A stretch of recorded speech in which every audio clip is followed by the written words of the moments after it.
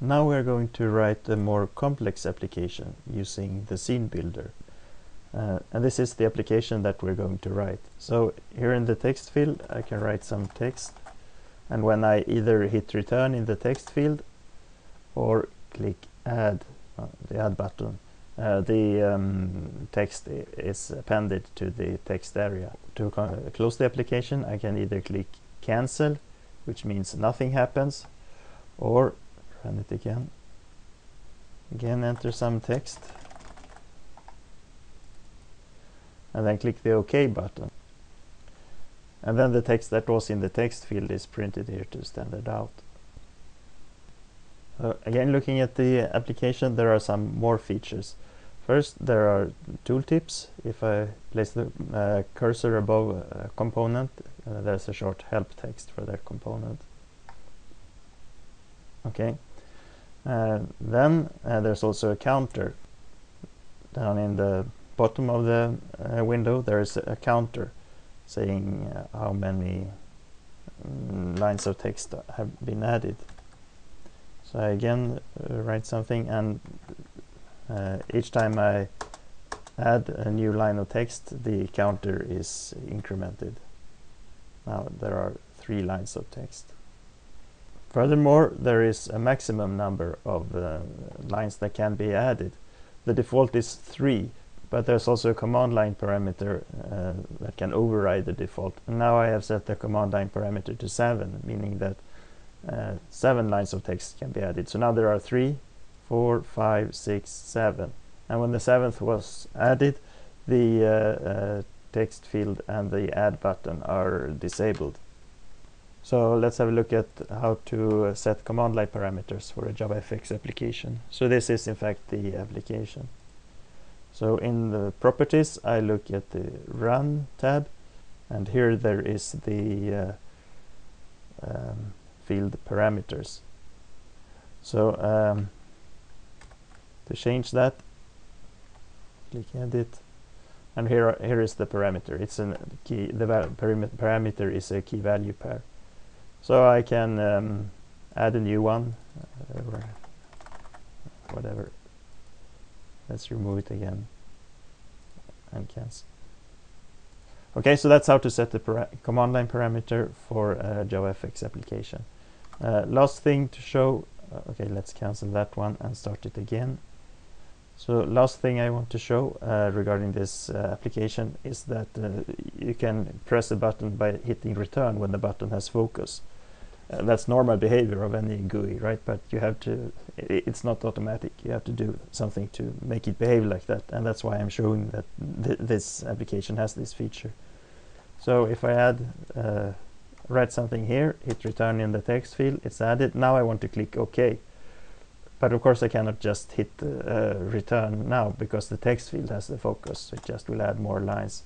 But if I tab to the OK button, hit return, then the OK button was uh, clicked and here is the output. Okay, so that's the application we're going to write.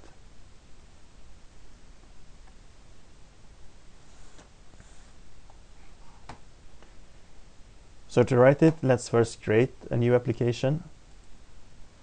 It's a JavaFX application, a JavaFX FX, FXML application actually, because when using the scene builder, we create uh, uh, the GUI uh, XML based, not in, in Java code. Um, right. So let's call it um, text adder.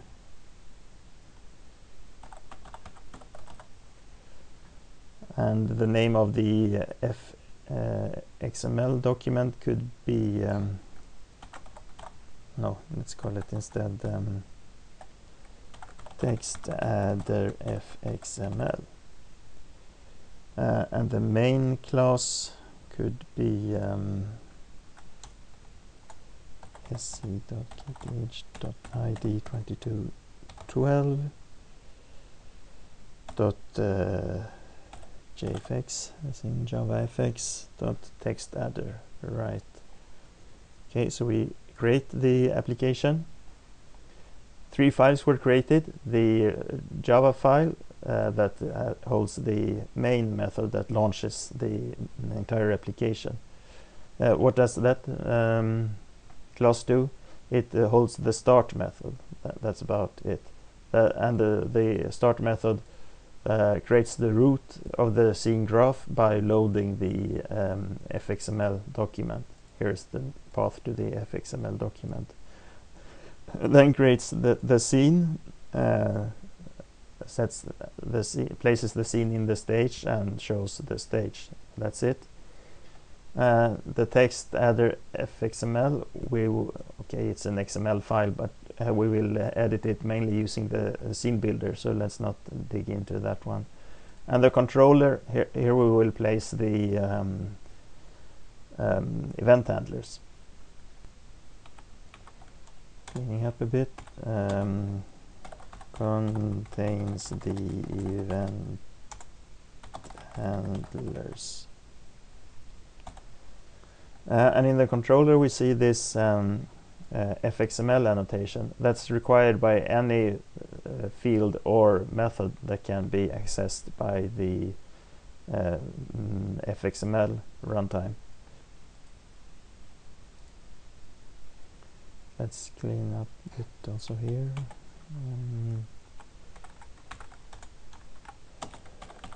Creates the uh, not creates the GUI but uh, starts the um, uh, text adder application. Um, command line arguments the application takes one one parameter parameter max lines which specifies the number of lines of text like this. Let's start creating the GUI then. So first let me just mention that I renamed uh, these files. I think they were including fxml in the file name was a bit redundant. So now now the names are better I think. Okay, let's create the GUI by using the scene builder and it started by double clicking the fxml file. Oops, not triple clicking. okay, so uh, when the project was created there was a very simple GUI uh, created as well, so let's just remove that one. Uh, delete, I right clicked and then also delete this pane. So now it's empty. Okay, we will start with a grid pane in the bottom and for some strange reason, it, I think it's a bug. It often places the window like this. Uh, uh, uh I mean the grid pane like this uh, beside the, the stage.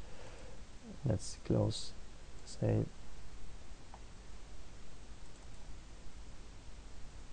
So now the grid pane uh, is correctly placed. Um, let's have a look at the GUI we are building. In the bottom there was the grid pane so let's start by adding this uh, text uh, at the top. So that text is actually just a text element. Let's search for the text. Here it is. Um, it should be placed in the uh, top row that's right uh, let's change the text right uh, text line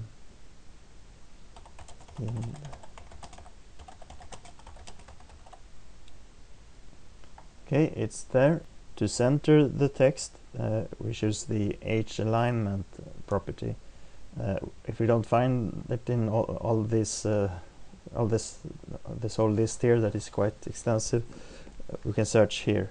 H alignment, and it should be center. Not very centered as you can see here, still to the left. But that's because it was centered in the column where it's located. It's located in column 0. Uh, but we want it to span both columns, so we should change that. It's called call span or something like that. Um, column span. Okay, here it is. Uh, change that to 2. There, now it's centered. Uh, so now let's talk a bit about columns and rows before we continue. Uh, so the thing, the idea is to uh, split this thing into two uh, columns like this. So every, everything that, that's to the left of the blue line should be in column 0, everything that's to the right should be in column 1, and things that are split uh, blue line that are both to the left and to the right should be uh, in both columns, that is have a column span 2.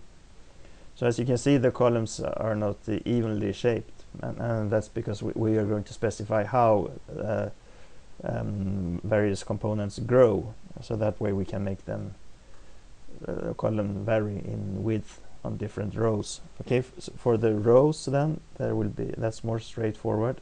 Rows will be like this.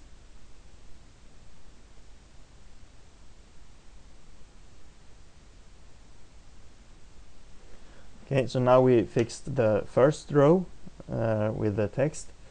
In the next row uh, there should be um, a label to the left in column uh, 0 and a text field to the right in column 1. Okay, now for the text in uh, row 1, uh, yeah, row 1, column 0. Uh, sorry, label, it should be a label. There it is, the label. Should not be there, but here. Uh, and the Okay, let's close that one. The label text should be text to add. Text to add. Right, but it should be not uh, left justified as now. so we change it to right justified. It should not change here in the uh, properties tab because that will justify the text in the label. Uh, instead, we shall change in the layout pane H alignment right. So there, now it's to the right. Okay, next is a text field, the same row but column 1.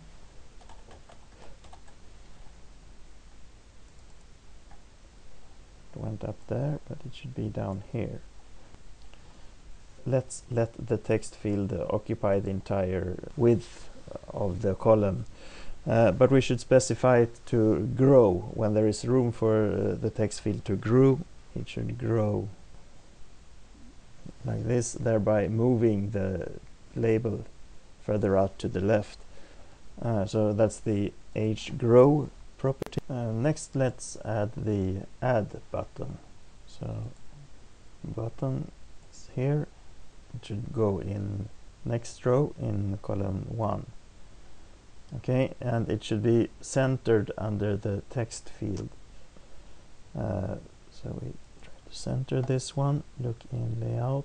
Okay you must be prepared for some experimenting when setting all these properties. Just bit bit of uh, trial and error.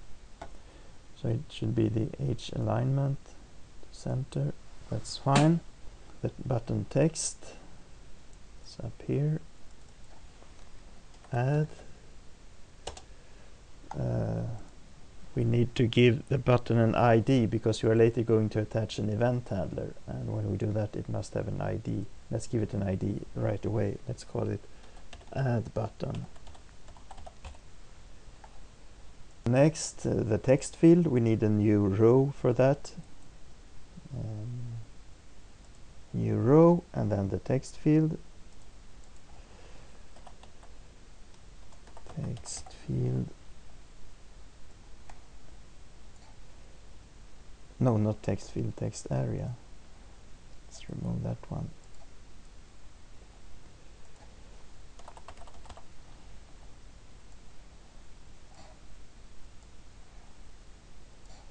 There the text area should span two columns like that. It should grow um, okay it should grow both vertically and horizontally when there's room. We want it to take uh, as much place as there is in the window. Um, always always. Oops now it grow a lot. Maybe we shouldn't allow it to grow vertically. Let's not do that so sometimes means it grows if, there's nothing else uh, that always grows. Let's keep it like this. Maybe later we when we have uh, set uh, designed it a bit better we can re reset it to uh, grow also uh, vertically. But for now let's keep it like this. Okay then the ok and cancel button that should go below. Uh, we need one more row. And row below now the columns are not evenly spaced but we want the the buttons to be centered below the text area which occupies both column uh, 0 and 1 so how, how to center them uh, over both columns uh, we cannot add them directly like this. Instead we need we need to add an H box which is um, um, a pane that uh, uh, lays out its components in one line, uh, a horizontal line of components. So that one should span two columns. Now it occupies everything here. Uh, and in that one we place the buttons.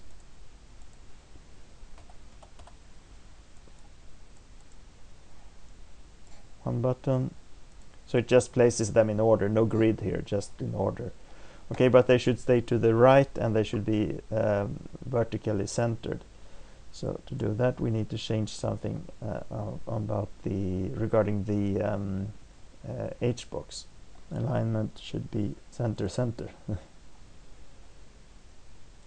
like this. No, sorry. there we are. Okay, they are very much attached. It would be nice with some space between the buttons. Uh, so that's the spacing property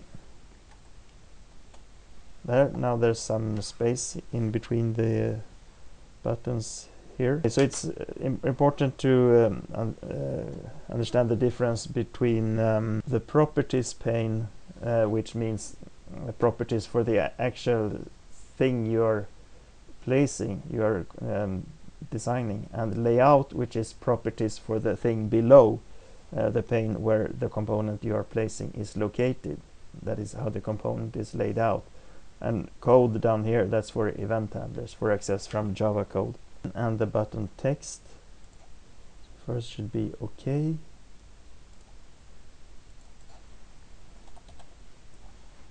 and second should be cancel. They also need IDs because we are going to add event handlers for them as well. So now the cancel button has focus. Cancel button and the OK button. Let's call that one OK button.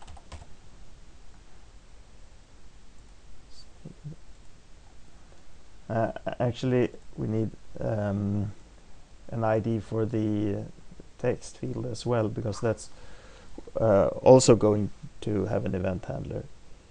Uh, the line should be added when the user hits enter and the text field has focus um, uh, text to add field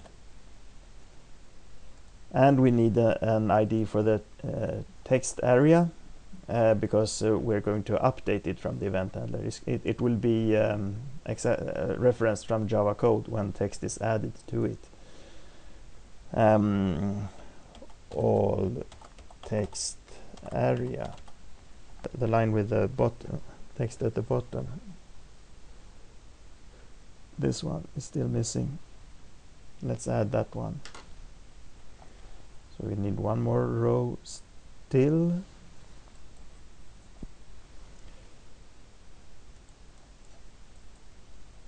Add row below. There we place a text.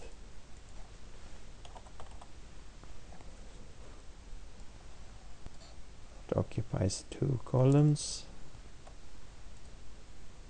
and is centered. I mean, let's let leave the text as it is text. I mean, essentially written here. Let's not change that because it's the text is going to be written from the Java code. It will, it's not hard coded, and the reason for that is that we have to uh, update the counter here. Uh, so therefore, since it will be accessed from Java code, it must have an ID. Uh, number of added lines text. And let's preview, see what it looks like now. Not very nice at all. Okay, one, one thing is, uh, of course, we need to uh, fix the size. Uh, but an another thing is that um, we should have some margin, which is um, area around the borders where there are no components. So some empty area there, Th that will look nice. Uh, so we add some padding, 25 pixels, some padding all over. There, some nice empty area at the border and also for this one we add some space between the components. Okay so let's add the space. It's the h gap and the v gap. There now there's some space between the rows and the columns. And let's preview. Um, still not very nice. Okay we got some space between the components. What if we reshape a little let's make the text field grow also um, vertically. Maybe that would, will make it better. Save preview. Yeah maybe that makes a bit more sense.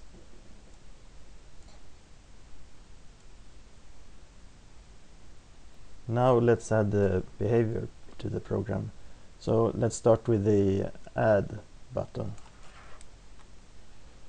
Here so when the add button is clicked, the text from the text field should be appended to the text currently in the text area. To do that we need an event handler. So let's focus this one over here. We add code hooks uh, on action. It's the action event that we're going to capture. So let's call uh, this method add handler.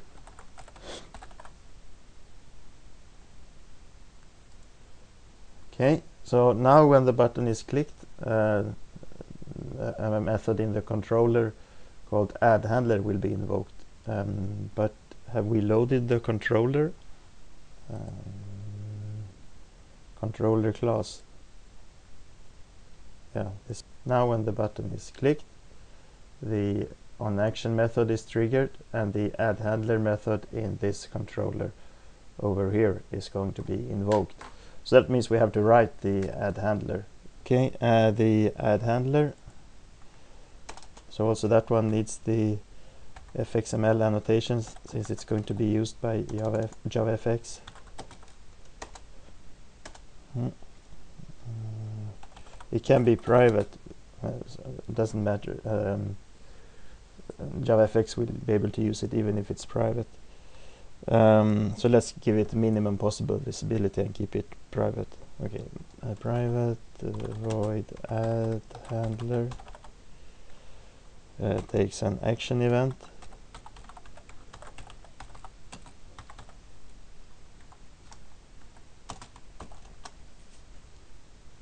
Mm, and what shall it do? It shall, shall uh, take uh, the um, text uh, from the text field and place it in the, uh, the text area. So we need to know uh, the ID of the text field and the text area. Uh, the ID of the text area is text to add field and the um, ID of the text area is uh, all text area all text area dot append text um, text to add field. Going to get text. Uh, and let's add a line break as well. So each uh, new text is added on a new line okay but the, the, compiler will cannot find all text area and text to add field so you must add such fields here so the JavaFX can inject those um, components, references to those components. Okay, fine. Now, now the uh, add button should work. Let's try it. Okay, uh, add some text. And that's fine. And if I hit enter here, uh we have not added that yet. Okay, so let's uh, add the hook also from the text field. Um, that one. Text field on action. Can we try? Yeah, add handler. Uh, save. Okay, now let's run. Now we can add with a button and we can add by hitting enter in the text field. Very good. Um, and there's still no, we have not uh, done anything about the, control number of lines, so it's just just keeps adding. That remains still to do. Okay, fine. Uh, first thing done. Uh, by the way, um, let's remove the handle button action. We are not using that. It was created when we created the project. There. Okay, so let's go on with the add handler. So what more should happen in the add handler? It should up update the text field here at the bottom. So we need a counter. Uh, let's add a field. Uh, private uh, of added lines uh, initially zero oops type private. Okay and it should be updated here. Um, but we should also uh, write to the output text. That means we, it, the text must be accessible from the um, controller. Must have an ID yeah it has number of added number of added lines text. Okay um, where are we here? Um, number of oops it must also be declared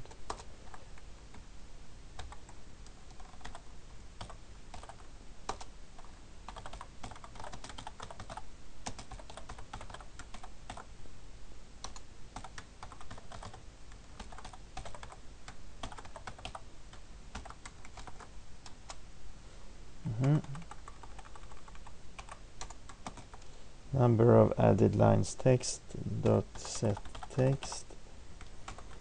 Okay, and um, let's create a constant for the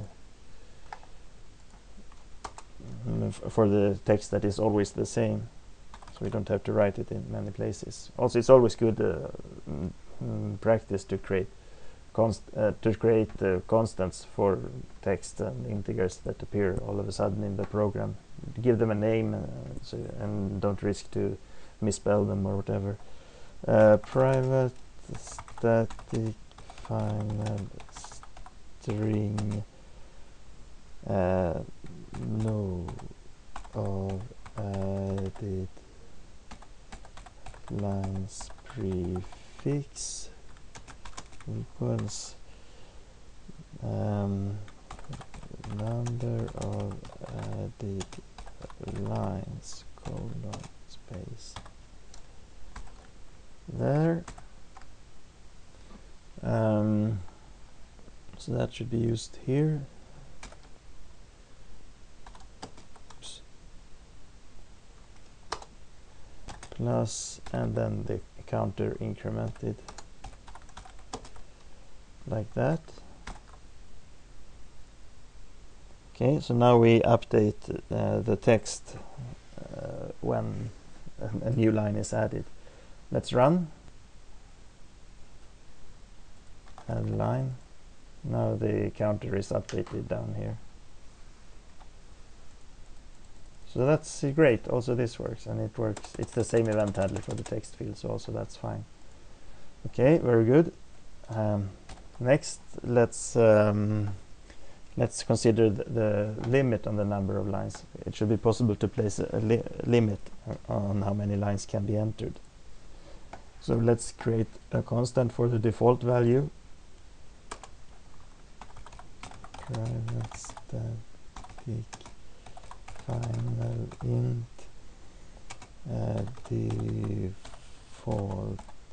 max line count uh, equals 3 so the default is 3 mm -hmm. and and if the the max number of lines is reached um, we should um, uh, disable the text field and the add button. Mm, if no uh, added lines equals um, default max line count. Okay we must of course declare it.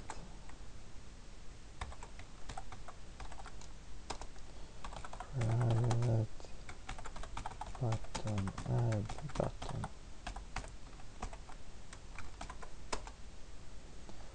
um, button dot set disable true.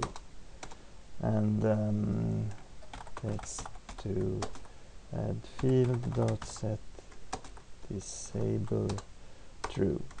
Okay run again now only three lines can be added. One two three and they are both disabled. Very good. Uh, next thing let's um, go to the command line parameter. So then we swap to the uh, application. The command line parameter can be uh, uh, read in the init method. That's where we normally read command line parameters.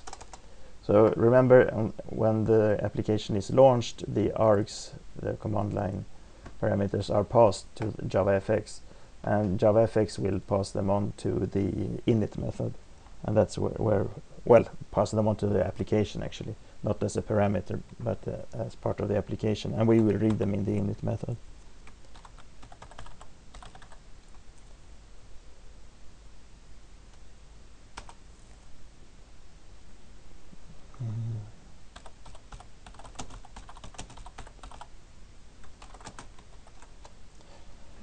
Okay, and what to do then? So we get them uh, the parameters by calling get para parameters dot get named which as you can see here retrieves a map of all named parameters and the parameter we are looking for is actually named mm. um, get named uh, but what name will it have? Uh, we have to decide that. So um, well let's create um, also for that one let's keep er everything in the controller. Uh, and we or should it be in the application this constant? The, this constant will hold the name of the command line parameter. Okay let's place it in the controller. We can always move it if later we discover it fits better in the, the uh, main in the application. Private uh, no public because it must be used in both. Public static final string um, max line count param name equals max lines. Okay, we have not set it on the command line yet. Uh, let's do that, by the way. Right, uh, let's do it right away. Properties, run parameters. We need to add a parameter. Add. We named it max lines. Let's give it a value seven. So now it's added. We have a, a, parameter, which is a name parameter, key value pair. The name is max lines and the value is 7. So uh, that uh, parameter uh, is passed to the JavaFX here when it's launched and it can we will retrieve it here. So get named that returns the map so get and then the name which is uh, it's uh, oops now I saw this does not follow the naming conventions there. okay text adder controller dot max line that one yeah so this returns the value of the um, parameter. Uh, and what shall we do with that um, value? We will place it in a system property. So system using system properties is a very convenient and common way to pass command line parameters around. It's not specific to JavaFX just set it as a system property here. When we read it first system.set property under the same name as it was set in JavaFX.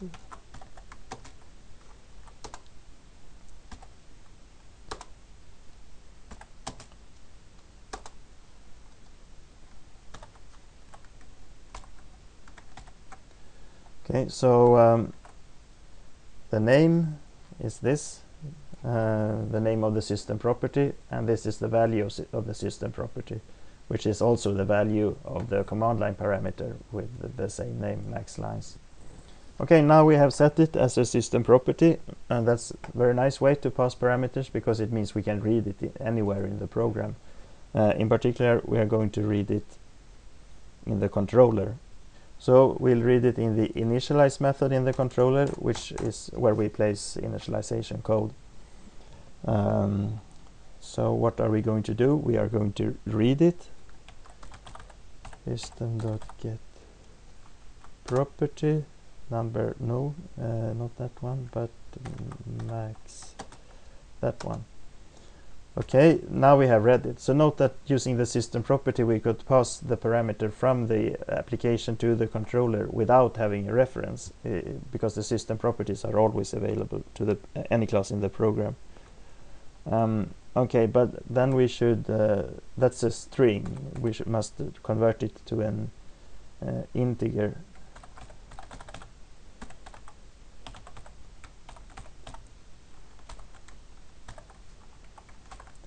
There, and we must also have somewhere to save it. Uh, private in max line count. Count and has the initial value. Ah never mind. The, the init method is always executed first so it will get the value here. Um, uh, let's save it then in max line count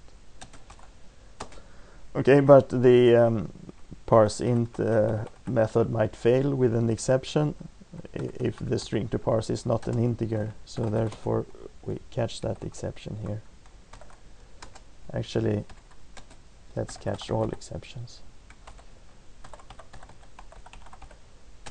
Whatever goes wrong, uh, we should give the um, the the field max line count some default value, and that is of course of course the default max line count.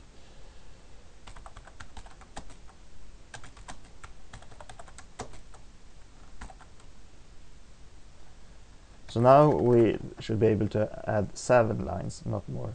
One, two, three. Oops, did not work.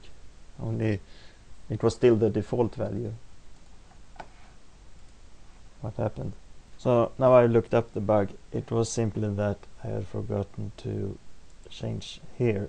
We should not check if number of added lines reaches the default max value, but the actual max value, which is in the variable max line count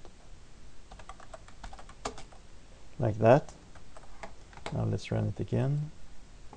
So now the max number of lines should be seven. One, two, three, four, five, six, seven. Yeah, so that works fine. Okay. Uh, next thing. So okay, let's run it again and I'll show what comes next. So now the problem is this text down here. Oops. This text down here it should not be text initially, but should be number of added lines colon zero. Okay, so um, that's a problem. of course we could hard code this thing uh, I mean we could it's this one here we could hard code um, here uh, number of and so on added lines colon zero uh, but um, that way we would have kind of duplicated code the text number of added lines would appear both here uh, in this field which goes to the XML file and also in the Java code. Maybe no big deal you could say, but uh, let, us be a bit fancy and avoid that duplicated code. I think it's fine. You should get used to never um, create any duplicated code if it there's any way to avoid it. Okay, so the, this is this will be done by adding a variable uh, here in, in this uh, as the value of this property and the variable will go to the text field and then we'll set the value of that variable in the Java code. So the variable that will contain the um, initial text is uh, prefixed by dollar. Uh, no, I mean this field already has an ID, right? We should could use that one as a prefix. Uh, let's see what the ID is number of added lines text okay use that one.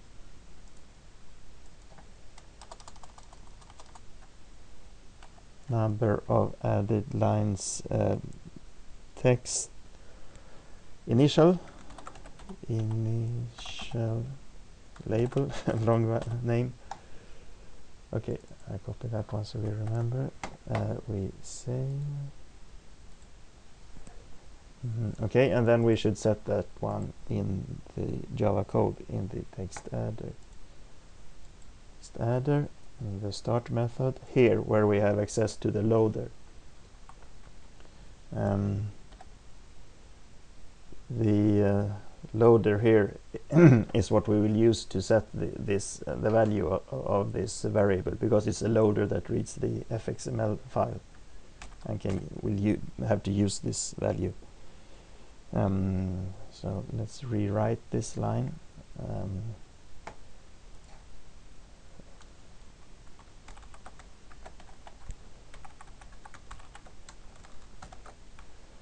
so we create a loader first, loader, loader, assigns um,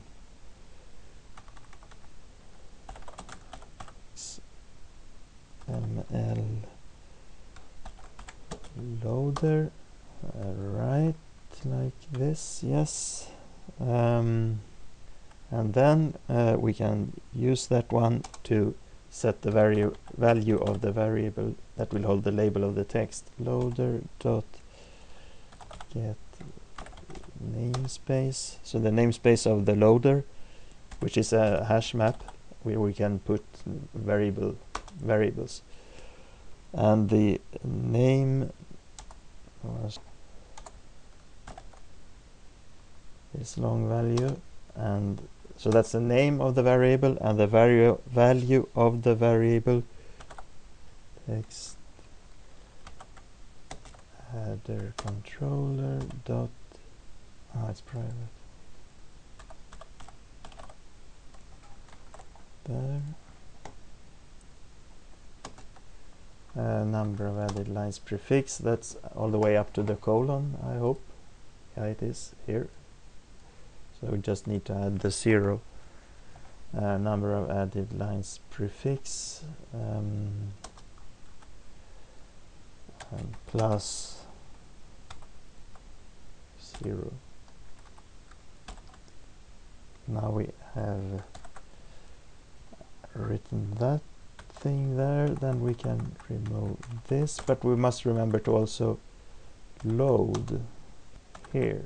The root of the scene graph is loaded by the loader. Like that. Okay. There we have it. Let's run. Uh, let's fix the import statements. Save. Run. Ah oops not very good. It's the the th this thing should have been replaced by the variable uh, value. So the bug was actually um, here in the XML file. When we added the dollar, um, there was a slash before. Uh, so we simply remove that one. Uh, okay, and now it should work, hopefully. Yeah, now the correct line is uh, displayed. And uh, if, we, if we add uh, some text, it updates the counter. So next let's add the uh, event handlers for these buttons. So the cancel button should do nothing, just close the program, and the OK button should print the text in the text area to uh, standard output, and then close the program. So the OK button, um, uh, the action handler could be OK button handler, OK button handler, yes. And the cancel button can have cancel button handler. Okay save. Oops over to the controller that has the action handlers. So now we have to write new methods also annotated fxml since they will be called by javafx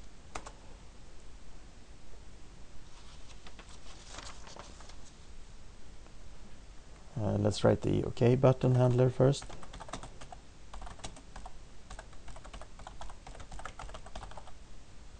Takes an action event.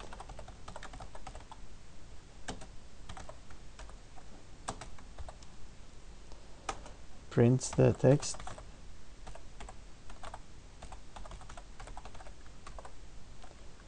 from the alt text area.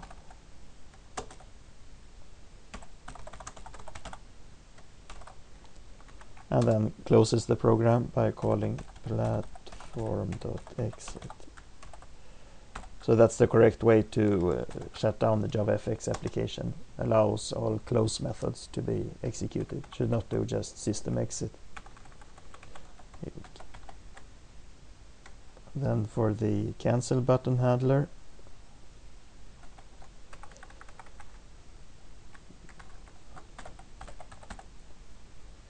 uh, should do the same thing but not uh, print to standard out.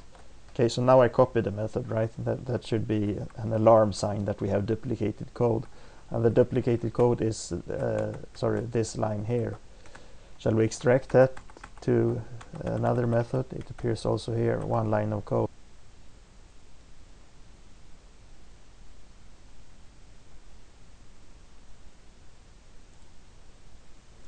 let's call it uh, shutdown yeah that's those so let's test run. Uh, add some text. So now when I click OK the text should appear uh, behind uh, in standard output uh, here.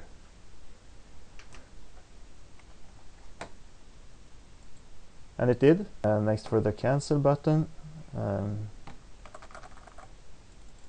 when I click cancel, no uh, text should appear, and it did not, so that also worked fine. Okay, uh, next thing then, uh, we want to be able to uh, add some text and then tab. Oops. Ah, now I realize why we get stuck in the uh, text field when uh, tabbing. It's because it's editable. The text field should not be editable, right? We should not be able to write text here, but only by adding from the um, text field. So I have to set, change this thing here. Um, editable, no. Okay, now if we start it so now we would like to be able to add, add some text and then tab to the OK button, hit enter and the OK button should be pressed. It is not right now. So there's a line of code that must be added to fix this. We will place that thing in the controller right and in the init method. So actually it's this line of code. The the OK button is the OK but is called OK button and we want we want to do is I will okay I'll write this code and then I'll explain it.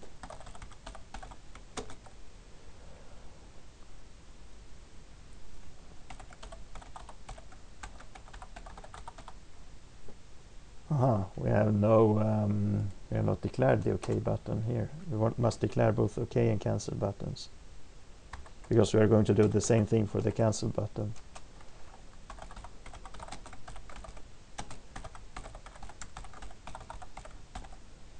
Okay, now onto the uh, OK button.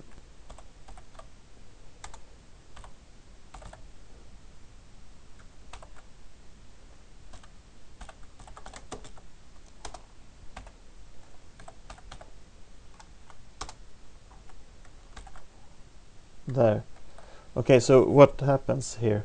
So in fact, fact is that the um, JavaFX has a property handling that is different from the common Java Beans property uh, standard with the setters and getters. But I will not explain the JavaFX property uh, mechanism. Uh, and just show you that what we have done here is that we have taken the focused property that tells whether the OK button has focus and, or not, and then we have bound that property to the default button property. And the default button property tells which button is on the whole uh, uh, window is clicked when the user hits enter. So this means that whenever the focused property is true, that is when the button has focus, then it becomes the default button of the application and is uh, hit when the user clicks enter. So that's kind of a trick to enable this thing um, that uh, the button should be clicked when the user uh, hits enter. We do the same thing for the cancel button.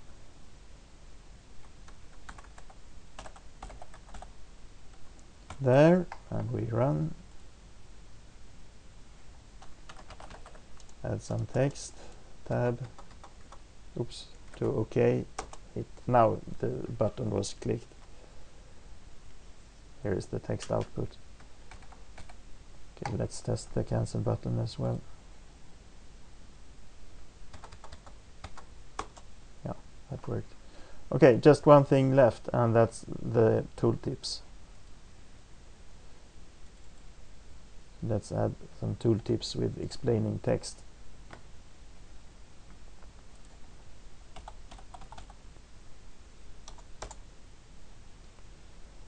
There should be tooltip for this thing here and the text could be um, write text to add here. For example I will just place tooltip on this button and uh, its text can be um, click to add text. And here print on text to standard out. I don't know if this is a good help text, but okay. And finally the cancel button. Um, delete all entered text and terminate. Save run. That's our tooltip. Tooltips all over. Okay so that's it. We are done